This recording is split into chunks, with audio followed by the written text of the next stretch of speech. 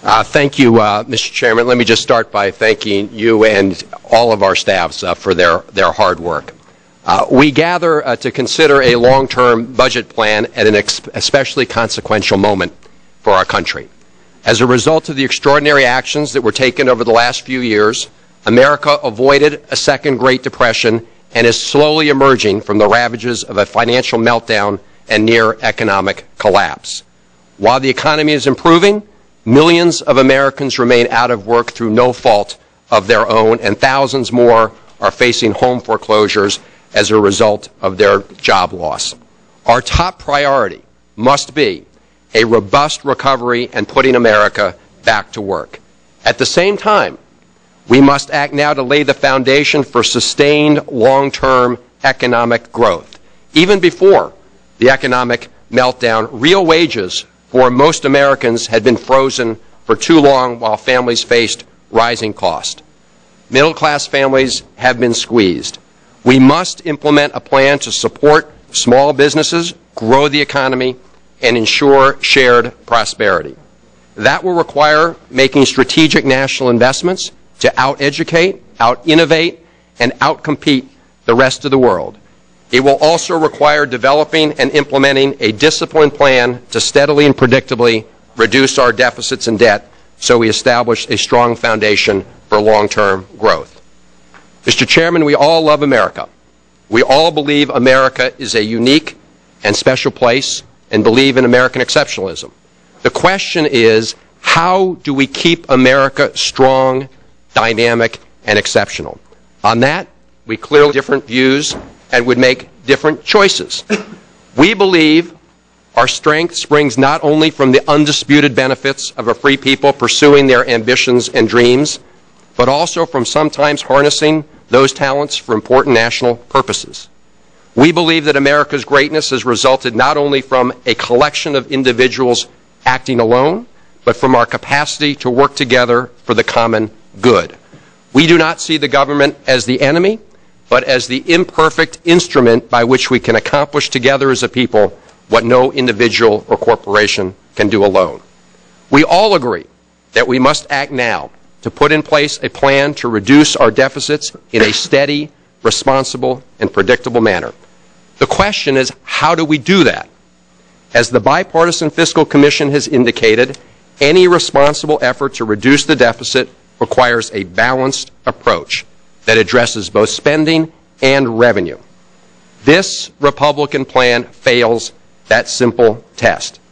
Yesterday, Erskine Bowles and Alan Simpson, the co-chairs of the President's Bipartisan Fiscal Commission, stated that the Republican budget, quote, falls short of the balanced, comprehensive approach needed to achieve broad bipartisan agreement that necessary to enact a responsible plan, unquote.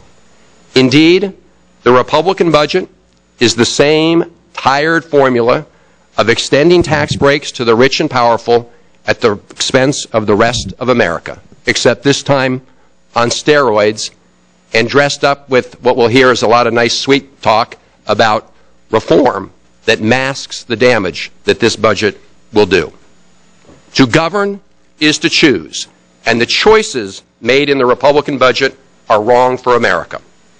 It is not courageous to protect tax giveaways to big oil companies and other special interests while slashing investments in our kids' education, in scientific research, and critical infrastructure.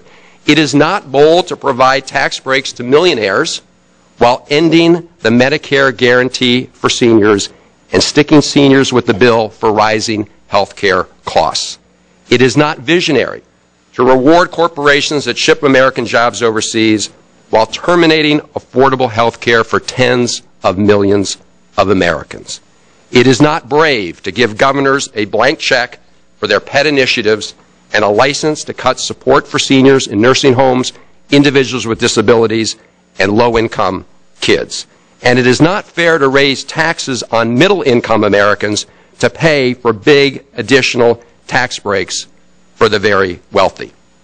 Yet those are the choices made in the Republican budget. Where is the shared sacrifice? We have American men and women putting their lives on the line in Iraq and Afghanistan while others hide their income in the Cayman Islands and Switzerland and refuse to pay their fair share to support our nation. The Bipartisan Fiscal Commission called upon all Americans to pay their fair share. Its budget blueprint calls for the top 2% income earners to pay the same tax rates they paid during the booming economy of the Clinton administration. Their plan also generates another $1 trillion in revenue over 10 years by closing special interest tax loopholes and limiting tax expenditures. The Fiscal Commission also warned that very deep, immediate cuts would threaten the fragile economic recovery and slow job growth. They also recognized that America must make strategic investments to win in the global marketplace. The Republican budget fails both the, and I would say that the jobs numbers we heard cited came from an analysis done by the Heritage Foundation, the same organization that predicted that the Bush tax cuts of 2001, 2003 would lead to booming job growth when we know at the end of that eight year period we had actually lost over 600,000 private sector jobs in America. Make no mistake, significant and sustained spending cuts must be part of any balanced plan to reduce the deficit. But America has become an economic powerhouse in part because of the targeted strategic investments made by earlier generations, including huge investments in science and technology, the interstate highway system, and educational opportunities for our people. Now, at the very moment, very moment that our global competitors are copying our successful model, this budget would take America back. Now let me turn to the question of health care. Every member of this committee knows that rising health care costs represent a huge challenge for the federal budget. But every member of this committee also knows what the experts have told us that those rising costs are not unique to Medicare and Medicaid. Those costs are endemic to the entire health care system. In fact, for 30 years, the per beneficiary spending in Medicare and Medicaid has grown at virtually the same rate as those of the overall health care system. And over the last decade, the per, beneficiary cost of Medicaid actually grew more slowly than the rest of the healthcare system. By contrast, in the private market for individual coverage, premiums more than doubled between the years 2000 and 2008. Those facts make one thing clear. If we're going to slow the rising costs in the Medicare and Medicaid without rationing care, we must slow the rising costs of healthcare throughout the healthcare system. And that is exactly what the Affordable Care Act is designed to do and will do when fully implemented. The Affordable Care Act will begin to bring down the per capita health care costs throughout the system, including Medicare. It includes virtually every cost containment provision recommended by health care experts. We heard that from many of our witnesses before this committee. And yet this budget, this budget would kill many of those system-wide reforms that will reduce costs in the system. Now, interestingly, this Republican budget does preserve many of the specific Medicare reforms in the Affordable Care Act, including some of the mechanisms to slow the growth of systems and eliminate excessive taxpayer subsidies to some of the managed care companies. In fact, the bulk of the Medicare savings in this 10-year budget comes from reasonable reforms we made in the Affordable Care Act which is especially startling given the fact that during the last campaign, Democratic candidates faced a barrage of campaign attacks telling seniors we had slashed their Medicare. What is new, what is new in the Republican budget plan is the termination of the Medicare guarantee for seniors. It doesn't reform Medicare, it deforms and dismantles it. It forces seniors off of Medicare and into the private insurance market. It does nothing to rein in the rising costs of health care, but transfers the bill for those rising costs to seniors.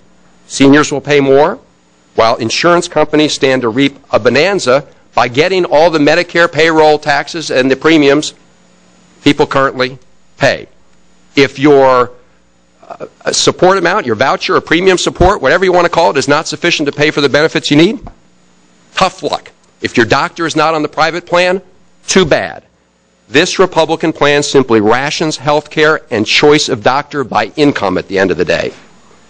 It also supports the safety net for seniors in nursing homes and assisted living facilities, as well as low-income kids